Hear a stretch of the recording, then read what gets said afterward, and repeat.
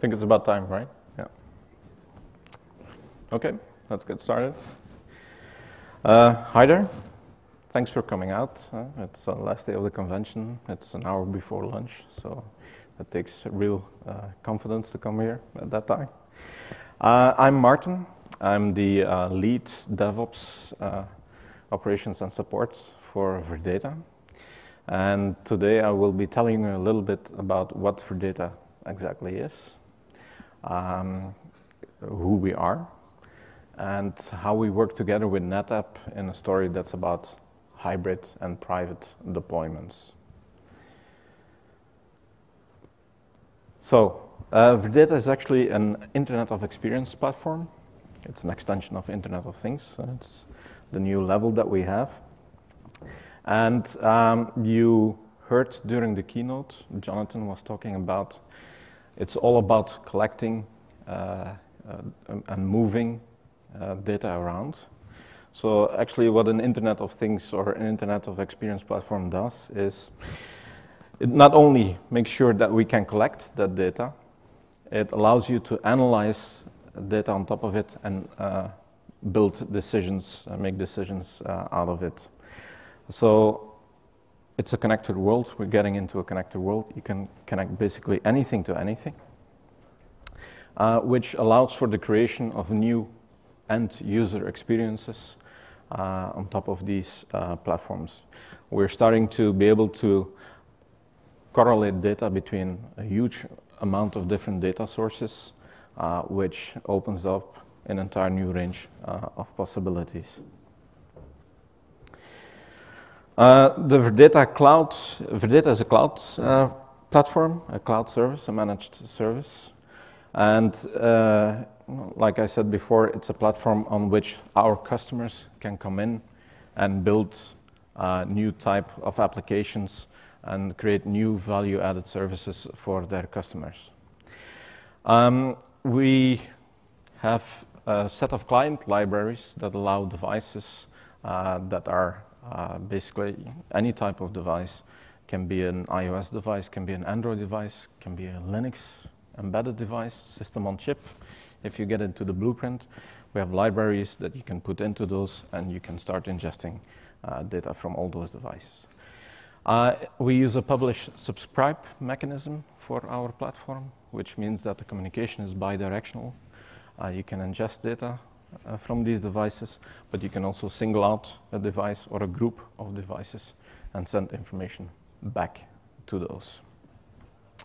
Uh, we use MQTT uh, for that. And then we also have a set of rich public APIs that allow you to retrieve the data and work with the data as you were. Um, in Origin, we uh, serve a number of vertical industries. Um, so one of the industries that we can cater to is automotive, where uh, we can do stuff like uh, reading real-time information coming out of uh, cars, trucks. Uh, we can uh, store all that raw data in a, in a historical fashion. Uh, so, for example, you could have dashboard information that you can retrieve in real time, or you can have an historical overview on the performance of the car. we do stuff around health as well where you can have a real-time overview of complex sensor data, correlate that, and uh, make decisions based on that, uh, with, while also having the historical overview of a customer patient's uh, health status available. Then another industry that is very active is um, the retail industry, where uh, indoor location-based tracking is becoming more and more apparent and more and more to the forefront uh, where you can have services like when you enter a shop, uh, they know who you are, they know what your interests are, and they will serve you with uh, individual targeted advertising when you want it and when you need it. Um, so I'm going to show you a couple of use cases which will uh, show off the capabilities of a Virdata platform. Uh, I've got it sitting as a movie here, but I think we can take the chance and try to do a live demo, uh, which actually gives you a better view on its capabilities. So let me switch here. so what you're currently looking at is a uh, live multi-cloud uh, platform, uh, a public cloud platform, uh, where you can see that we have a number of connected devices. We have about 180,000 connected devices uh, on this uh, system. And you can see the historical overview um, hour by hour, so it, it, keeps updating real time. And you can also see the, the, the view over time itself. I'm not going to go through all of the demos that we've built on top of the platform to show you. I'm just going to give you a small sampler. If you're interested, uh, you can always contact us afterwards and you can get a better view on the platform capabilities. But I did want to show you a couple of uh, use cases that uh, are, I think, uh, pretty important uh, to give you a sense of what the capabilities of the platform actually is. So, for example, this is a um, automotive a fleet management demo that we have, where we have a set of cars that is driving around. Uh, we use an OBD dongle that is uh, in the diagnostic port of the car. Every car has uh, such a port. Uh, it's got a Bluetooth interface. The Bluetooth interface is reporting to the smartphone, and the smartphone is sending that data back uh, into the platform. So what we can do here is we can actually have a view on one of these cars. We can single out a car, so you can actually see them driving. Uh, we can go to its dashboard, and you will see the real-time uh, dashboard indicators uh, of the car, while you also have a visual representation of where the car is actually located due to a representation in Google uh, Street View. And another thing that's uh, quite nice to notice is that we're also recording uh, the driver's heart signal. This is due to a partnership with uh, a company called Lea Sensors uh, that retrieves the heart signal uh, from the driver. It's a heart signal, not a beats per minute, which says, which means it's granular enough to identify uh, the person driving the car, and which allows for advanced analytics such as detecting uh, very well in advance, 10, 15 minutes in advance, if a driver is going to fall asleep, yes or no. Uh, so this is the real-time capability. You can also go back in the historical view where you can uh, check out the trips that this vehicle has made in the past. And once you have that information available, uh, it will allow you to do uh, things like uh, cost calculations uh, in order to um, see where the car has been and how much uh, it actually consumed.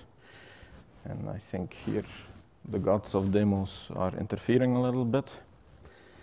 Uh, so let me refresh that.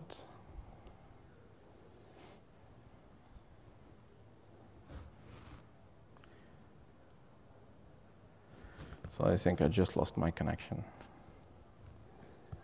Uh, yeah, we did. So here we're back.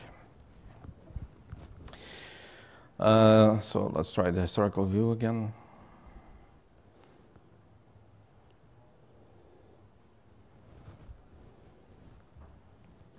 So here you have the historical view, and uh, you can do a cost calculation based on the fuel consumption of the car per trip, uh, the duration. Uh, you can go back and check its route. One of the more interesting things, you can also go and check uh, the performance uh, of the trip, meaning that all the statistics coming out of the engine block are reported as raw data and stored into the platform uh, for indefinite uh, duration. One of the really uh, good benefits is you can go to your car dealership and say, I have a problem. They will tell you, mm, we're not noticing anything. And you say, oh, look at the details. It happened during that time. And this is the problem that I was actually seeing. Okay, so it's a nice demo. We, uh, we found out that, yeah, there's actually a lot of people that can do something similar to this. Uh, so how do we differentiate us? Uh, one of the things that Virdata in its origin always had was scalability. Uh, we did not take the approach where we have a solution that we're trying to scale out possibly to millions of devices. No, we started off with an architecture that allowed us to start from millions of devices and scale uh, potentially to billion of devices. So therefore, we uh, did uh, another implementation of this, And uh, currently, what you will see is we have about 300,000 cars driving around that we can actually track uh, individually. Where is this data coming from? People are kind enough to publish their trip data to OpenStreetMap. We've taken in that data and we're replaying it to a set of uh, simulators, uh, which gives us the possibility uh, to give you this very nice feature. Again, it's not our intention to build these applications. These are applications that are intended to be built by our customers that create added value on top of the platform specifically for them. So this is another view that you have where we use uh, octagonals. Uh, so the previous one view that you had was a uh, heat map according to the density of the cars that we're driving. Here you will have a view that combines the actual speed uh, of the cars in combination with the density of the cars that you have driving around. Uh, so cars in this area 107 average speed 0.38 kilometers meaning most of them are actually standing still. It's nighttime so yeah that kind of makes sense. Uh, let's go a little bit let's dig a little bit deeper and at a certain level you actually start seeing uh, the individual cars and you can see the cars uh, driving around um, our design is modular, meaning that we're using a different database as the one that I was using for the previous um, uh, demo, uh, which also shows the flexibility of the platform uh, in order to create uh, this overview. So here again, uh, you can track all the statistics of a single car, uh, and you can see its actual, if, if I'm fast enough to, to grab one of them.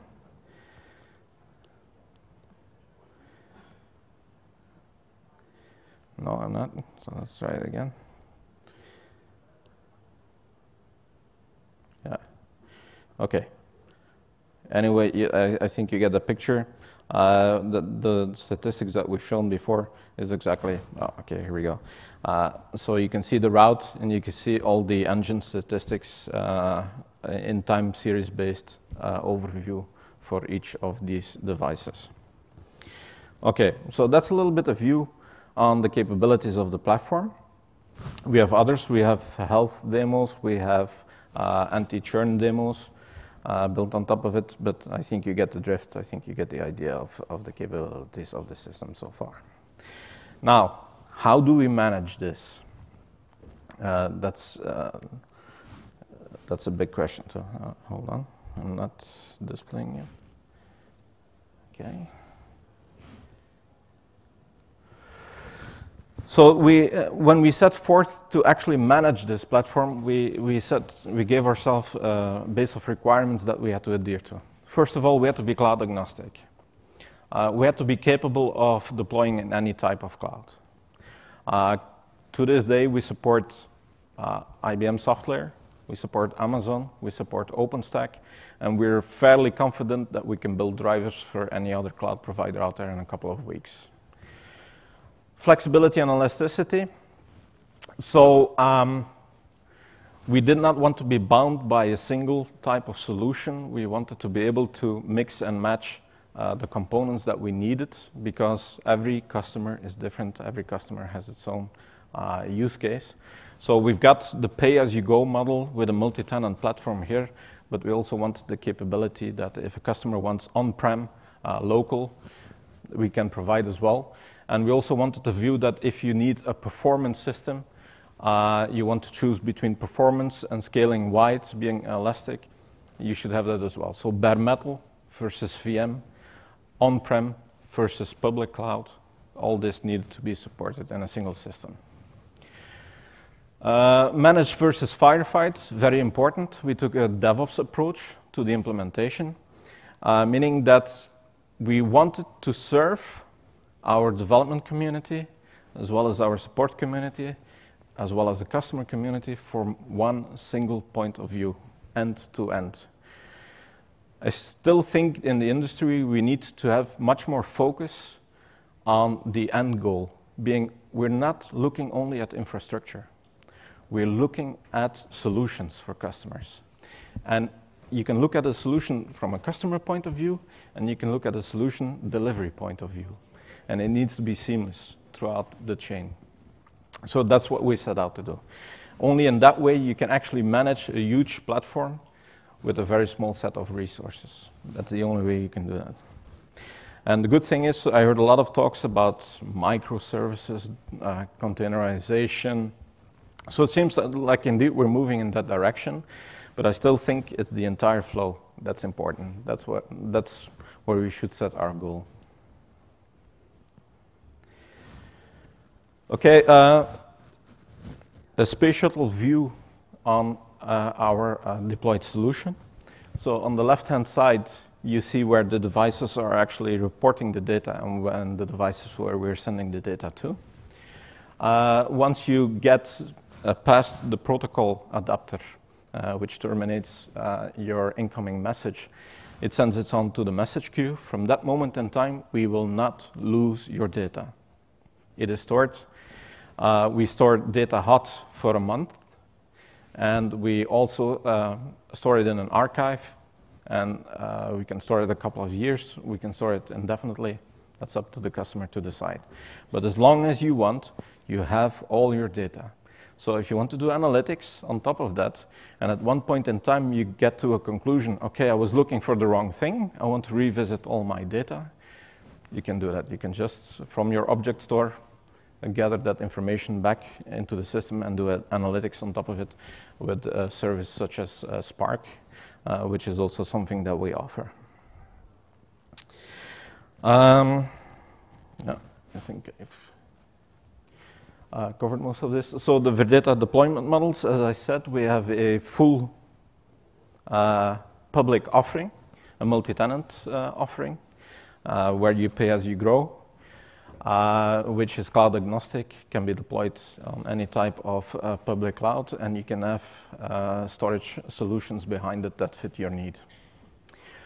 Uh, we then have the hybrid uh, deployment model where we actually have two options. Uh, you have the option that I think is most relevant to most users, where you have a, an enterprise or large uh, corporation that actually already has its own infrastructure and is ingesting data from its own devices and wants to extend that capability or needs to extend that capability with device data coming from the internet. So then you go to the hybrid model where your uh, messaging infrastructure is located uh, publicly, ingesting all the public uh, data coming into the system, and your data backend is on-prem locally taking care of all your data, making sure that all your data is uh, in adherence with your privacy uh, and uh, data concerns governed. And uh, in the meantime, you can also ingest data from within your intranet uh, possibility. So it's covering all the angles while you still have full control over your data locality and your data governance. Then you have the other option where you decide, I want the flexibility to really uh, scale out using VMs. I'm using the compute uh, from the public cloud, but I still want my, my data local. So you can have your storage solution locally while you use the, compute, uh, the compute from the cloud. Uh, and then you have the private uh, managed service. So you have the convenience of a full private system while you still maintain all the benefits, uh, benefits from a managed uh, system uh, like uh, the elastic healing, uh, the self-healing, the elastic scaling from the managed services. So how is it done? We basically um, took OpenStack and expanded on top of it, making it into a multi-cloud management platform, uh, where we directly go to the APIs of the different cloud providers and start provisioning uh, the system on each of these cloud uh, products. Very important distinction is that we don't look at it point of infrastructure. Uh, we look at it point of uh, service, delivered service. So we take care of the infrastructure, we take care of the application, we take care of the, the, the health of the applications on top of that. All this on top, built on top of an OpenStack uh, solution. So the hybrid solution model a little bit the same, uh, uh, same feed, where we directly go to the cloud APIs, Uh, so the, the, the, the, uh, the cloud provider has its own API. Uh, OpenStack has its own API and manager on top of that, and you can see the hypervisor uh, details through it. But the actual provisioning, the actual governance of the infrastructure is done through the uh, multi-cloud manager. Same thing for the uh, private uh, solution deployment, where where we go to a FlexPod and provision the services on top of that. So why OpenStack and why NetApp? Uh, we started on this road uh, about a year ago, a little bit over a year ago, where we decided that uh, OpenStack already had a lot of uh, the capabilities of what we needed. It, it, stopped at the infrastructure layer, but at least up until that part, it all made sense, what we were seeing. Uh, so we, and it was also very nicely compartmentalized in, in different services, which made it very easy for us to integrate whatever we needed on top of that. Uh, and yeah, the usage of the APIs, you, you, can deploy OpenStack pretty much anywhere, so that made it a very good generic solution. Then the value of the, the uh, NetApp augmented OpenStack services. So what is very important to realize is that the dynamics of a public cloud environment are very different from the dynamics of a private cloud deployment. In what sense? For example, you don't care, or you want to care but you cannot, about SLAs in a public cloud. They, they, they're not giving you any SLAs in public cloud. So, but you, you can scale in pretty much infinitely. So if something goes wrong, you can have other resources, you can go to other data centers, things like that. When you look at the private cloud deployment, that's typically not there. People only want the infrastructure that they need in a private uh, cloud deployment, meaning that it becomes um, uh, much more vulnerable to defects, things like that. So it absolutely makes sense to go for an enterprise solution as opposed to just having a bunch of commodity hardware and scaling out. That's the two approaches you can take. You can say, okay, I really don't want to care uh, about this enterprise grade thing, but then you will have to make sure that you have enough commodity hardware to cover all your bases. Uh, frankly, that creates an overhead in terms of your operations. Uh, you will do, uh, have to do a lot more stuff. So it kind of makes sense to go for an enterprise solution if you go for a private uh, cloud there. Compliance uh, and security, data locality data governance, uh, law uh, governance, uh, very important. You want to be able to state that you exactly know where your data is, what it does, and that it's, it's actually under data governance control. Consistent performance and SLAs. Uh, usually when you go to, towards an enterprise system, it's validated, it's tested, uh, you know exactly what you get, you know what performance you should expect from it, as opposed, again, to commodity hardware, where you're usually mixing different systems uh, together with each other, you will end up with a lot of uh, issues if you scale uh, beyond a certain point. And full control over your private and hybrid clouds.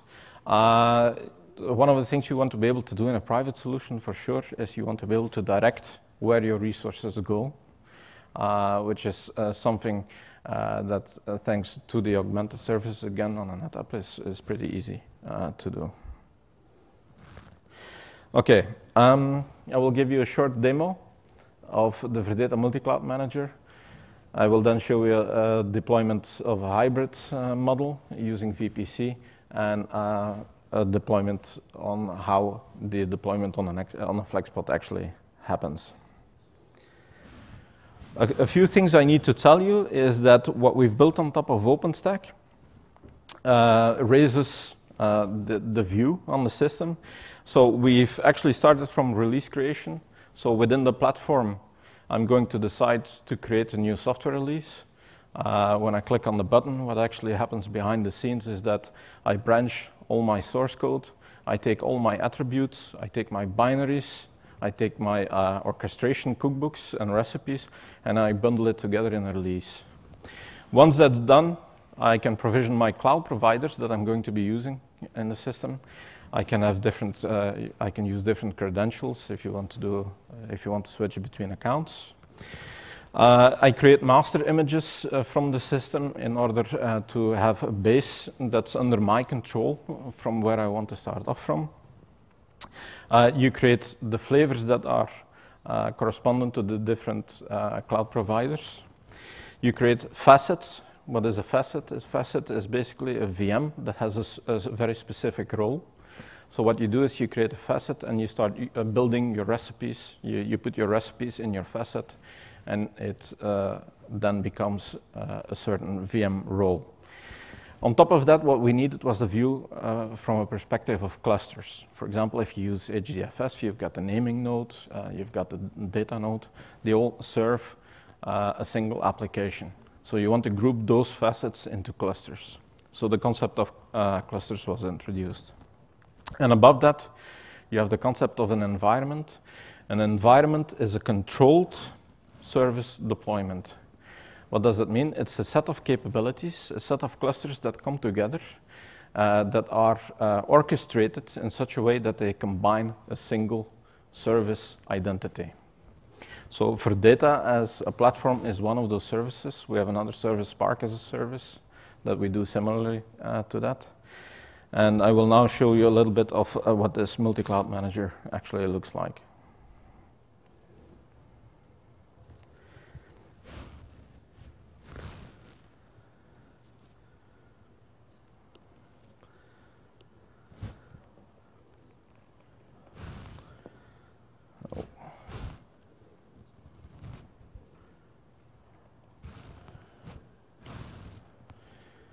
So as you can see, it's, it's very similar to a um, vanilla uh, OpenStack deployment with the, uh, the main difference that there's an extra tab in there that says Virdata. And under Virdata, you can uh, find the concepts back that I just uh, mentioned. So under configuration, uh, you will get to decide which cloud providers, uh, which master images, which facets, which flavors, you are going to have. You can set attributes uh, for your machines. Uh, but above that, you have the release creation, uh, where you create your software uh, releases in. Uh, you can do event management. You can track who did what in the service. And here you have an actual overview of the environments that we currently have. environments, so for example, one of the environments in here is our actual development environment. So uh, we've also added lifecycle management uh, to the capabilities in the sense that we uh, launch our development environment every day from scratch at six in the morning and we break it down at eight in the evening when the developers are go have gone home. Like that we save a lot of money and we uh, pressure the developers into making sure that stuff works because the next morning the platform needs to uh, come up again and work for everybody. So from an operational point of view, very good, benefit. Uh, so I can just add an environment here. Uh, it willfully shows you a very nice name because I've been told that I'm terrible at picking names. So we included something that gives you a name for you. So summer snow. There you go. And I can start adding instances. I can uh, select my cloud provider. I can select the data center that uh, you want to go to. I can select the facet, the role that the VM is actually going to play. I can select the amount of VMs that I want to launch. And I can also select the release that I want it to play. So I can just add uh, one of these. So that's an EC2 instance. I can add another instance uh, let's make this one a SoftLayer uh, instance. Uh, same software release.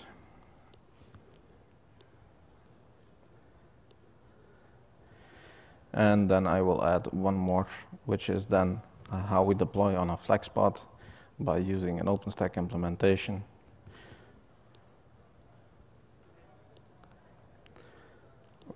And here you go. So I've now have three instances in my environment. So all the security groups are set for this environment to behave as one coherent uh, part. Uh, so I can now start the environment. some of the things I can do. So you will now, uh, the system will now go out to, to, the different cloud providers, request the VMs. Uh, once that's done, when you've, once you get confirmation, uh, it will try to SSH into the machines. Once it's done that, it will start the orchestration in order to build uh, the applications on top uh, that you need to, to get into that environment. Some other things that you can do is if you decide to change the firewalls, you can, you can uh, re uh, provision the firewalls uh, directly through it. You can kick the system, meaning that if I change my software release, uh, I just have to kick the system. I don't have to rebuild the entire VM. It just rebuilds the software on top of it. And I can obviously set the software release uh, of each of the components that I want. Now, if, if you go into a production environment that we have, you will see that these environments are actually quite big. There's a whole set of instances here. Uh, it's, it's very difficult if I want to create a new environment to do that, so I'm not going to do that. Uh, what I will do is I will take that production environment, I will duplicate it, I will select a different cloud provider for it and a different data center. And uh, I will just duplicate that environment.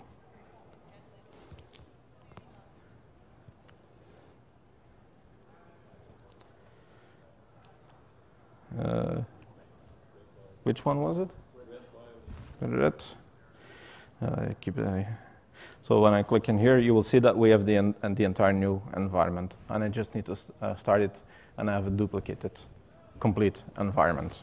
So all the settings, all the attributes that are dependent on an environment have been set and have been met according to. Now let's go back to our uh, previous, uh, I think it was Black Cloud. No, it's not Black Cloud. Uh, it's the problem when you start creating all these. So uh, there you go. Should have another beer. That's uh, usually helps. Uh, okay, so now we're on the Chevron. So where OpenStack stops is with the creation of your infrastructure. This takes it to the next level. This means that uh, what it actually means to be active here is that the application is up and running, it's healthy, and that is what uh, active means. You also have the monitoring capabilities associated with it.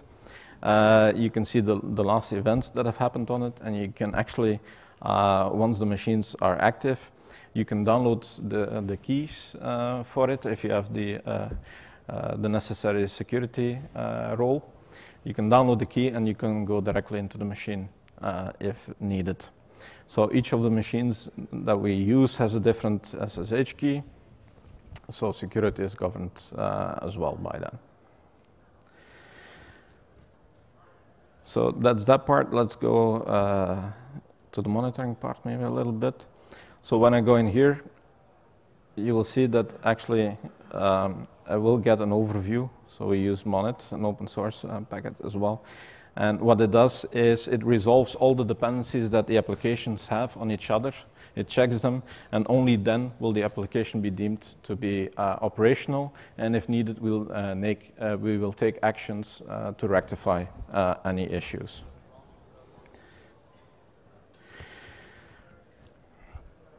So I will let the uh, machines actually launch. Let's see, maybe there are already some active. So yeah, so the uh, OpenStack-based one is currently already active, and the other two machines are uh, still building. So that's all it takes to build a hybrid cloud environment in a system based on this. Um, we've also, uh, so this is for a, a normal hybrid environment. Uh, we've also done uh, stuff around VPC. Uh, that was a proof of concept that we've done, uh, where we actually uh, use NetApp NPS private storage that's attached. So NetApp private storage, which is on-prem, that you can then use in combination with your compute in the cloud. so let's. It's this one, I guess. Let me see if I can actually play the video. So what you will see happen here is that Uh, you go into the configuration and you go, uh, you have to import a VPC. It's an Amazon VPC. Uh, once that VPC is imported, uh, you uh, will be able uh, to use that in your environments. So here you see the actual creation of that. So you, you can actually see that it's the same uh, value as uh, what the, the NetApp uh, NPS uh, manager shows you. Once that is imported, you can then uh, spin up machines that are actually going to use volumes uh, of that NPS part in your environment.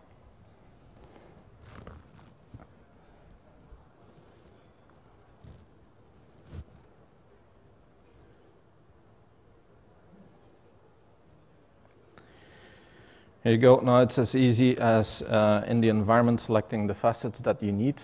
Uh, when you create a facet, you're going to say that you have uh, the VPC capability and that you're going to attach uh, the volumes accordingly. So storage type, uh, NPS.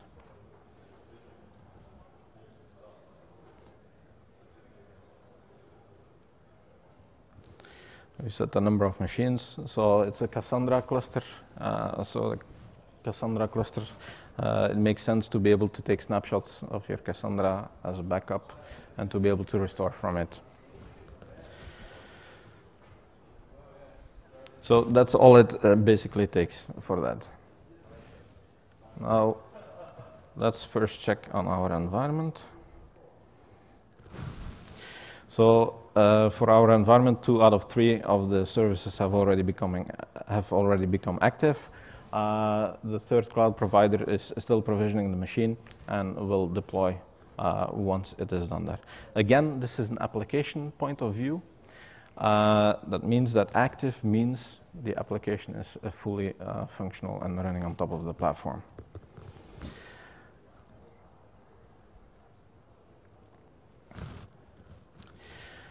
So, uh, in conclusion, why use a FlexPod for your private and uh, uh, hybrid deployments?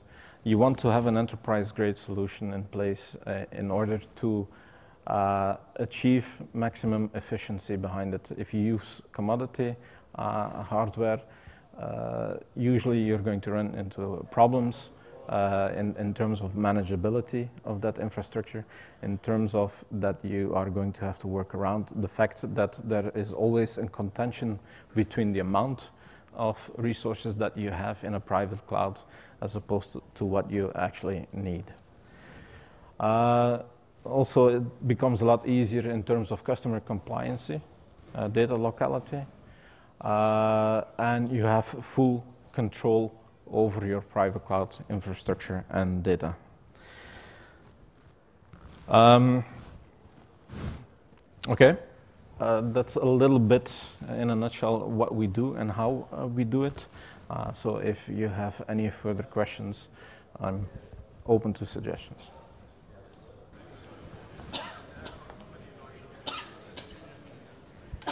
No questions?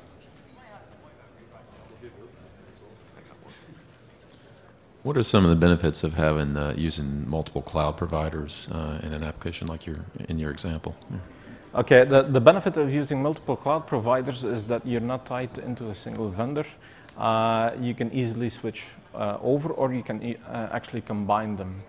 Uh, in terms of resilience, certain cloud providers have less performance, definitely the more immature ones and you want to be able to go to one of the bigger uh, ones to, to make sure that your high availability is covered like that. Obviously, there is a cost associated uh, with that as well in terms of latency and architecture uh, around it, so you have to be very careful uh, how you do that. Uh, but that's the main benefit behind it.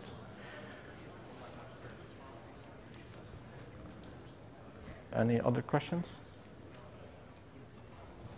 No? Then I would like to thank you and enjoy your lunch.